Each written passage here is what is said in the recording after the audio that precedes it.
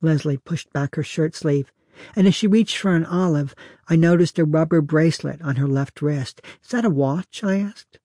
No, she told me. It's a Fitbit.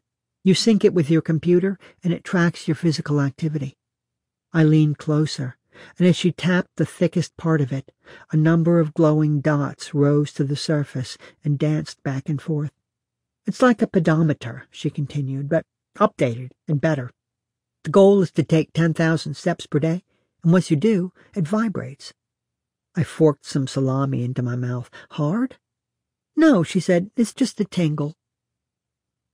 A few weeks later, I bought a Fitbit of my own and discovered what she was talking about.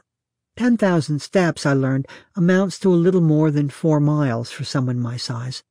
It sounds like a lot, but you can cover that distance over the course of an average day without even trying, especially if you have stairs in your house and a steady flow of people who regularly knock, wanting you to accept a package or give them directions or just listen patiently as they talk about birds, which happens from time to time when I'm home in West Sussex. One April afternoon, the person at my door hoped to sell me a wooden bench. It was bought, he said, for a client whose garden he was designing. Last week she loved it, but now she's decided to go with something else. In the bright sunlight, the fellow's hair was as orange as a popsicle. The company I ordered it from has a no return policy, so I'm wondering if maybe you'd like to buy it. He gestured toward an unmarked van idling in front of the house and seemed angry when I told him that I wasn't interested. You could at least take a look before making up your mind, he said. I closed the door a couple of inches. That's okay. Then, because it's an excuse that works for just about everything, I added, I'm American. Meaning, he said. We stand up a lot, I told him. Oldest trick in the book, my neighbor, Thelma, said when I told her about what had happened. That bench was stolen from someone's garden, I guarantee it. This was seconded by the fellow who came to empty our septic tank. Pikeys, he said. Come again? Tinkers, he said. Pikeys.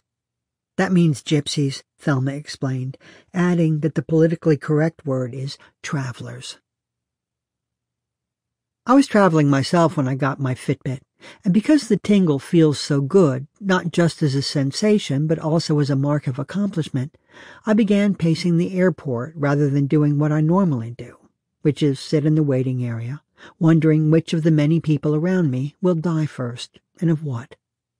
I also started taking the stairs instead of the escalator, and avoiding the moving sidewalk. Every little bit helps, said my old friend Dawn, who frequently eats lunch while hula hooping and has been known to visit her local Y three times a day.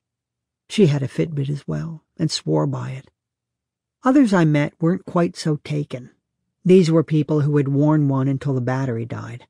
Then, instead of recharging it, which couldn't be simpler, they'd stuck it in a drawer, most likely with all the other devices they'd lost interest in over the years.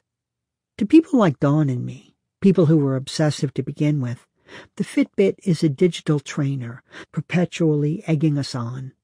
During the first few weeks that I had it, I returned to my hotel at the end of the day and when I discovered that I'd taken a total of, say, 12,000 steps, I'd go out for another 3,000. But why? Hugh asked when I told him about it. Why isn't 12,000 enough? Because, I told him, my Fitbit thinks I can do better. I look back at that time and laugh. 15,000 steps. Ha! That's only about seven miles.